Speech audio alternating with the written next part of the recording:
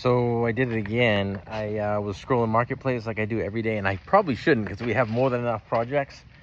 And I kind of found a 1980 F-150 regular cab short bed, 300 straight six, two-wheel drive from Tennessee up here in Maine that's supposedly rust-free.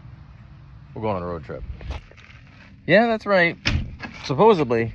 It's a long story behind it, but the guy's helping someone else sell it because his son died, so he doesn't know a whole lot about it he didn't want it so he just posted it and his phone's been blowing up and i got lucky enough to get through and in touch with this guy.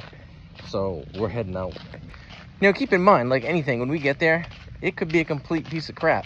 It's been painted at some point because i noticed the door handle's been painted over and stuff and the mirrors are off so um, as long as it's not a bondo buggy and it was done properly that's fine. Well, let's go see what we got. All right so that was a big teaser.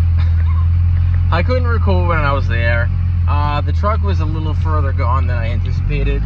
Um, it had been, I guess, a little more taken apart than I realized that it was, so it didn't really work out. Um, I mean, the, the price is still fair. It's a project.